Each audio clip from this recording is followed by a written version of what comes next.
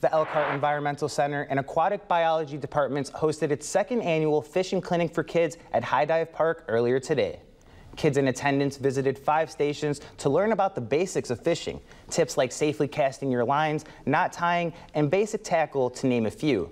And afterwards, they were welcome to fish around High Dive Pond, where volunteers were able to help them help their first timers get a good start with their newly learned skills.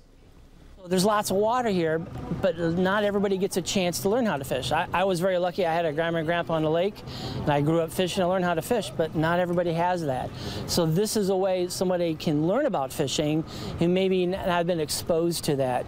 And we'll have some people know how to fish and how to tie knots, and they can show you how to do it, and you can practice out here. The first set of kids to complete today's clinic were also given their very own fishing rods.